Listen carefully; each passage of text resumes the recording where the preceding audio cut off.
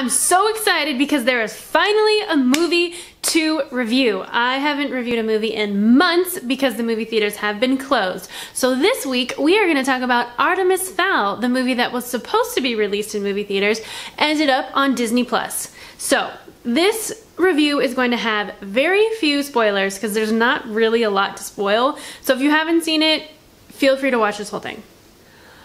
Okay, I think it's fair to start off by saying I had very low expectations for this movie. I was not super excited about it. Trailer didn't look great. I have read the first book, did not love it. So when I started seeing reviews saying that, oh, it totally strays from the book, I'm like, okay, maybe I'll like it because I didn't particularly care for the book, right? Which brings me to my opinion of this movie. I did not like it. Usually when you go into a movie thinking you're not gonna like it, you got low expectations, you're like, okay, that wasn't that bad. This movie was pretty bad. So let's talk about why. This is obviously a kid movie. The books are for kids, like pretty young readers, but they put so much complex stuff in it and so many things that nothing came together for me in this movie. And to be completely honest, I fell asleep for like 10 minutes of it. Anyways, so like I said, there's just so many little pieces and I was waiting for everything to come together and it didn't really happen. Let's start with Artemis.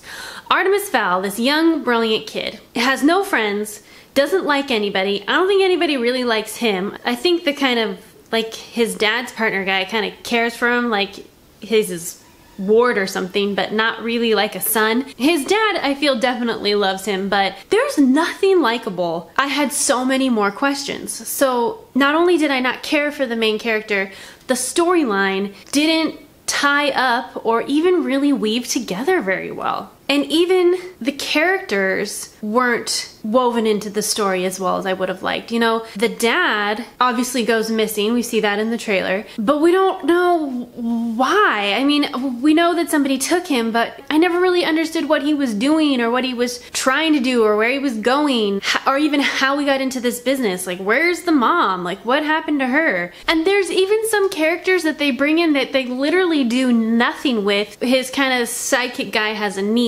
and they go through this whole thing of saying that she was trained in martial arts, and then literally the whole movie she just is running from room to room.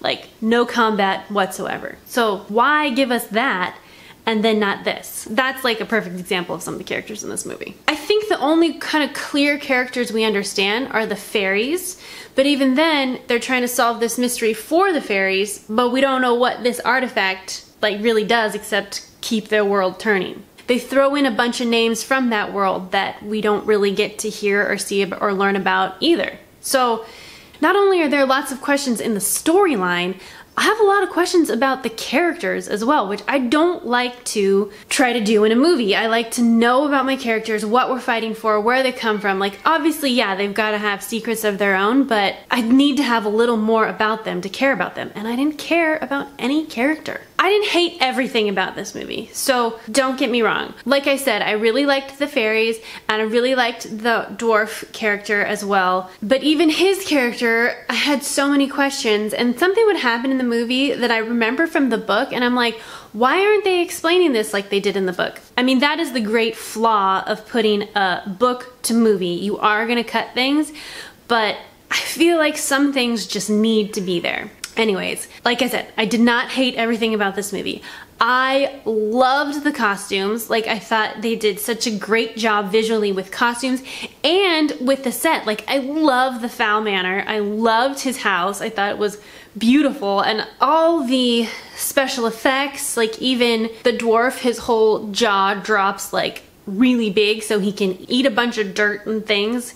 And that visual was really well done. So the visuals in this movie, A+. plus. It's really just the storyline that I did not enjoy. But I just, I don't think it's gonna do well. It's obviously set up for multiple movies because there are multiple books, like lots of books.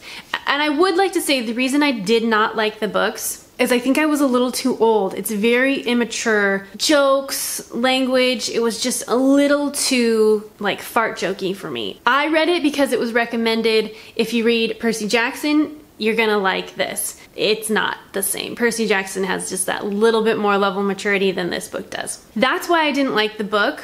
That's not why I didn't like the movie though. So I feel like you can take them as two separate things. I don't know, I was just so excited to finally have a movie to review and it just...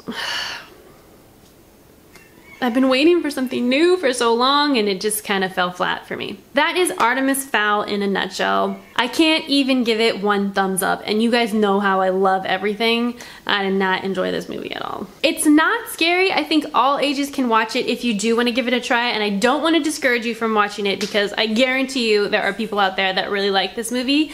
I'm just not one of them. My name's Aubrey. I make new videos every Thursday so make sure you subscribe and follow me on all my social media and I will see you guys next week.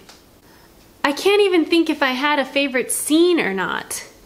I think I just wanted to live in that house more than anything. That That's my favorite part of the movie. The house. Yeah, it's so bad.